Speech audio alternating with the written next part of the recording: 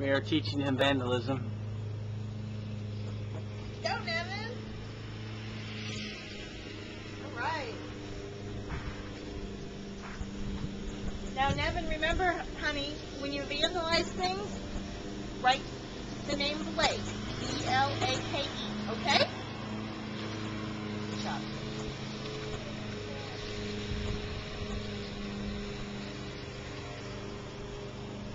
Devin.